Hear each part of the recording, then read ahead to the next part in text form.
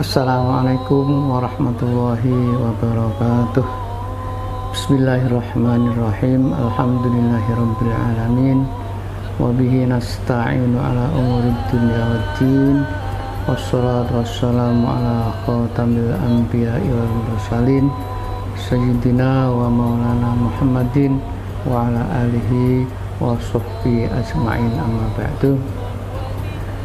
Kaum muslimin rahimakumullah khususnya yang ada di daerah istimewa Yogyakarta. Kami atas nama pengurus wilayah Nahdlatul Ulama daerah istimewa Yogyakarta mengucapkan selamat Idul Fitri 1 Syawal 1445 Hijriah. Sudah sepatutnya kita sebagai umat Islam bergembira memasuki bulan Syawal ini karena kita telah berhasil melaksanakan perintah Allah Subhanahu wa taala berupa ibadah Ramadan, puasa Ramadan selama satu bulan penuh. Dan tentu saja selama Ramadan kita juga melaksanakan berbagai ibadah yang lain dengan penuh semangat dan antusias karena kita mengetahui nilai-nilai yang terkandung di dalam bulan Ramadan yang tidak tertandingi oleh bulan-bulan yang lain. Semoga selama bulan Ramadan ini kita dapat menghimpun amal-amal baik yang cukup banyak. Dapat menambah tabungan kita untuk kepentingan akhirat sehingga setelah Ramadan ini kita keluar sebagai sosok muttaqin atau orang-orang yang bertakwa. Taqabbalallahu minna minkum wa ja'alana wa iyyakum minal aidin wal faizin kullu amin wa antum bi khairin. Mohon maaf yang sebesar-besarnya lahir dan batin barangkali selama kita bergaul selama kita berinteraksi banyak kesalahan yang kami lakukan banyak kekhilafan atau kekurangan sekali lagi kami mohon maaf yang sebesar-besarnya.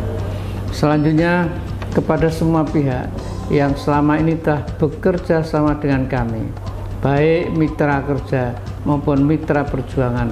Kami sampaikan terima kasih yang sebesar-besarnya atas kerjasamanya yang sangat konstruktif selama ini. Ke depan tentu kami masih berharap kerjasama yang baik terus kita lakukan demi untuk mendapatkan kemaslahatan bersama-sama. Kita berharap setelah Ramadan ini nilai-nilai Ramadan yang luar biasa tetap dapat kita jaga dan kita lanjutkan. Semangat beribadah tetap kita jaga dengan istiqomah meskipun kita sudah berada di luar bulan Ramadan.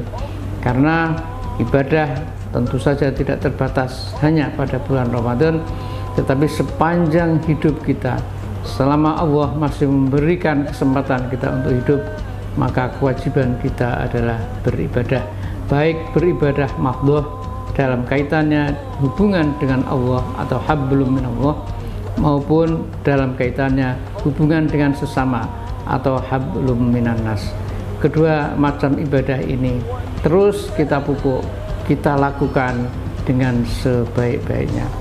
Kemudian kepada kaum muslimin semuanya kita harus memberikan kontribusi yang sebaik-baiknya bagi kemaslahatan dan kebaikan kehidupan berbangsa dan bernegara termasuk untuk mensikapi hasil pemilu atau pilpres yang saat ini masih dalam persidangan di Mahkamah Konstitusi. PWNU daerah istimewa Yogyakarta berharap bahwa masalah sengketa pemilu bisa selesai pada tingkat Mahkamah Konstitusi. Tidak perlu dibawa keluar dari gedung pengadilan MK tetapi biarkanlah semuanya selesai pada tingkat Mahkamah Konstitusi karena kalau masalah sengketa ini terus berlanjut dan dibawa keluar gedung Mahkamah Konstitusi kami memandang bahwa mafsadat itu akan lebih besar daripada masalahnya oleh karena itu demi kebaikan bersama demi kerukunan bersama dan demi kejayaan bangsa Indonesia apalagi telah dicanangkan kita menuju pada Indonesia emas tahun 2045 maka prasyarat yang tidak boleh tidak yang tidak bisa ditawar bahwa kita harus rukun. Kita harus bersatu padu untuk bersama-sama menjaga kerukunan dan keutuhan NKRI yang kita cintai. Sekali lagi mohon maaf lahir batin. Semoga Allah selalu memberikan kebaikan kelancaran tugas dan juga keberkahan dalam kehidupan kita semua. Wallahul muwaffiq ila aqwamit Wassalamualaikum warahmatullahi wabarakatuh.